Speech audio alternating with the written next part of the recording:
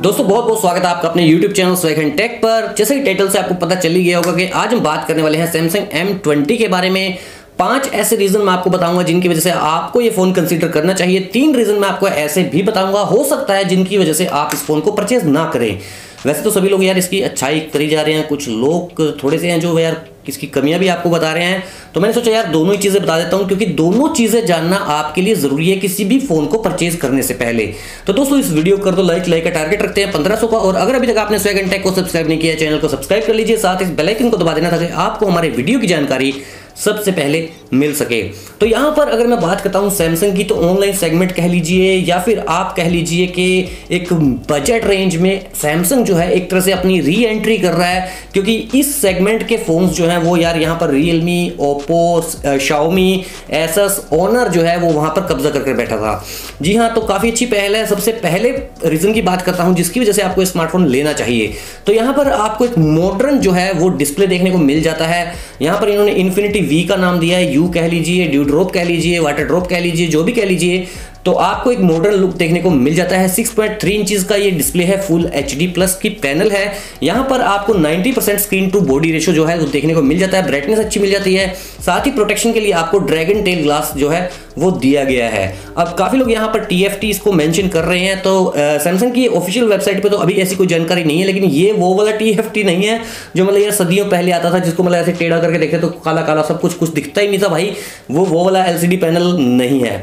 तो अगर बात कर लेते हैं हम दूसरे रीजन की तो यहाँ पर आता है इसका कैमरा जी हाँ सैमसंग के कैमराज हमेशा ही अच्छे होते हैं तो यहाँ पर भी आपको एक अच्छा डुअल रियर कैमरा देखने को मिलता है 13 मेगापिक्सल प्लस 5 मेगापिक्सल का। जो 13 मेगापिक्सल का सेंसर है, उसका अपर्चर आपको f 1.9 का देखने को मिलेगा, यानी कि आपको जो है वहाँ पर अच्छी लाइट देखने को मिलेगी, अगर आप लो लाइट कंडीशन में भी कोई फ़ोटो क्लिक कर रहे हैं।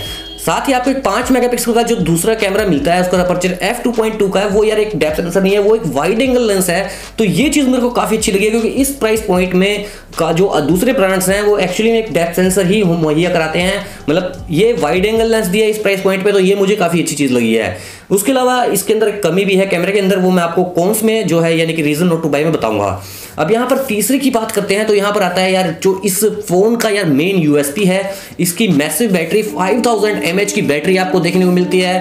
अब पाँच हज़ार की तो मिलती है, लेकिन इसके ऊपर इस प्राइस पॉइंट में आपको मिलता है यूएसबी टाइप सी और उसके अलावा आपको यहाँ पर फास्ट चार्जिंग का सपोर्ट भी मिल जाता है और उसके अलावा आपको fast charger in the box देखने को मिल जाता है। तो यार ये बड़ी सॉलिड रीजन है। या तीसरा जो है, यानी कि बैटरी हो गया चार्जर हो गया चार्जिंग स्पीड हो गई तो सब कुछ आपको धमाकेदार देखने को मिलने वाला है।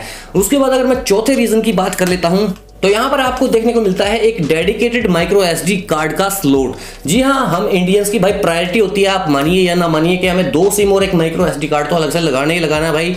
चाहे दुनिया इधर की उधर हो जाए। तो यहाँ पर भाई वही चीज़ की है कि आपको एक ट्रिपल स्लोट जो है वो देखने को मिल जाता है, जो कि काफ़ी अच्छी चीज़ है। उसके बाद अगर मैं बात करता हूँ पाँचवें रीजन की कि इस फ़ोन को क्यों लेना चाहिए, यहाँ पर आपको कुछ मल्टीपल फीचर्स मिल जाते हैं। डुअल फोर जी का तो सपोर्ट आपको देखने को मिलता ही है। साथ में आपको वाइड वाइन एलेवन का सपोर्ट भी देखने को मिलता है, जो कि मतलब यार दूसरे ब्रांड जो है वो अठारह, बीस हज़ार के फ़ोन में भी नहीं लेकर आ रहे हैं। तो ये मेरे को बहुत अच्छी चीज़ लगी है। तो आप यहाँ पर नेटफ्लिक्स वगैरह जो है वो एचडी में स्ट्रीम कर पाएँगे। उसके अलावा यहाँ पर आपको डोल्बी एटमोस का यानी कि जो है सपोर्ट देखने को मिल जाता है तो साउंड क्वालिटी औसम होने वाली है, अगर आप मतलब एक अच्छे हेडफोन्स यूज़ करते हैं तो। तो यहाँ पर काफ़ी मल्टीपल फीचर्स जो है, वो आपको इस फ़ोन में देखने को मिल जाएँगे। और अब मैं आपको बताता हूँ कि रीज़न नोट टू बाय और इसके बाद आपको अपना ओनेस्ट ओपिनियन इस फ़ोन के बारे में भी बताने वाला हूँ। बात कर लेते हैं हम तीस तीन ऐसे रीज़न की, जिनकी वजह से हो सकता है आपको ये फ़ोन जो है, वो नहीं परचेज करना चाहिए। तो पहला रीज़न मैं आपको कैमरे से रिलेटेड ही बताऊँगा कि अगर आप लोग जो है, वो वीडियो ज़्यादा शूट करते हैं अपने फ़ोन से तो यहाँ पर आपको जो है फोर वीडियो रिकॉर्डिंग का ऑप्शन नहीं मिलता है और ई e नहीं मिलता है। अब यहाँ पर अगर मैं अपनी पर्सनल बात करता हूँ तो मुझे ई e से तो फ़र्क पड़ता है, फोर से इतना नहीं पड़ता है। तो यहाँ पर इन दोनों में से मतलब ई e तो कंपलसरी देना चाहिए था। उसके अलावा अगर मैं बात करता हूँ दूसरे रीज़न की तो मतलब इतना बड़ा कोई रीज़न नहीं है भाई इस फ़ोन के अंदर के मतलब इसको मैं बहुत बड़ा कौन बता दूँ, लेकिन कुछ लोगों के लिए मैटर कर सकता है, इसलिए बता रहा हूँ। यहाँ पर आपको कोई भी नोटिफिकेशन लाइट नहीं मिलती है। तो ड्यू ड्रॉप नोच के अंदर नोटिफिकेशन लाइट की डिमांड करना भी वैसे तो गलत ही है। लेकिन शाओमी क्या करता है? वो अपने चिन के बॉटम में दे देता है। तो अगर कुछ ऐसा कंसेप्ट लेकर आ जाए तो यार मज़ा आ जाएगा। उसके बाद तीसरे जो रीज़न है, उसकी बात कर लेते हैं यहाँ पर। तो वो यार पर्सनली जो है, जो इसका बैक का डिज़ाइन है, वो मुझे यार इतना अच्छा नहीं लगा है। अब उसको बिल्ड क्वालिटी कह लीजिए डिज़ाइन कह लीजिए। हालाँकि प्लास्टिक यूज़ किया गया है, दूसरे ब्रांड भी प्लास्टिक यूज़ करते हैं। पता है, पॉलीकार्बोनेट बॉडी यूज़ कर रहे हैं आजकल। अच्छी बात है, लेकिन थोड़ा सा उसको मॉडर्न लुक देनी चाहिए थी। कुछ ग्लोसी फिनिश देना चाहिए था, जैसा मतलब रियलमी अपने फोन्स में दे रहा है आजकल ओप्पो वीवो दे रहे हैं। तो कुछ मतलब एट्रैक्टिव सा होता, कुछ नया सा होता तो बहुत ज़्यादा बढ़िया हो सकता था। अब दोस्तों, ये आपको रीजन मैंने बता दिए हैं बाय के भी और नोट टू बाय के भी। अब मैं अपना ऑनेस्ट ओपिनियन अगर आपको देना चाहता हूँ तो मुझे तो पर्सनली एक ही कौन इसके अंदर दिखाई दे रहा है, वो है ई e का, जो एक मतलब थोड़ा सा मैटर करता है मेरे लिए, और आपके लिए मैटर करता है नहीं करता है, ये कमेंट सेक्शन में ज़रूर बताना। ओवरऑल मिला के मैं ये कहूँगा कि जो तीन जीबी और बत्तीस जीबी वाला वेरियंट है, जी हाँ यानी कि टेन ट्रिपल नाइन का वो बिल्कुल सुपर वैल्यू फॉर मनी है, क्योंकि प्रोसेसर भी आपको वहाँ पर स्नैपड्रैगन 636 के लेवल का मिल जाता है।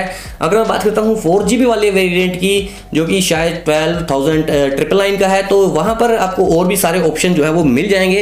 लेकिन ग्यारह हज़ार रुपये में बिल्कुल वैल्यू फॉर मनी है। आप इस फ़ोन को परचेज कर सकते हो, अगर आपको अच्छा लगता है। तो दोस्तों, उम्मीद करता हूँ वीडियो आपको अच्छा लगा थोड़ा सा भी अच्छा लगा तो वीडियो को लाइक और शेयर कर दीजिए। चैनल को सब्सक्राइब करना मत भूलना। मैं मिलता हूँ आपसे अगले वीडियो में। अपना ख्याल रखिए, अपने परिवार का ख्याल रखिए।